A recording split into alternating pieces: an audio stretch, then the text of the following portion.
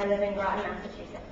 My favorite artist would probably be Mark Oliver Everett from the Eels, which is a very underrated band, but he's a musical genius. He's so awesome, and I love every song he's done. And he's had such a tragic life, but he's been able to pull through, and I really admire that.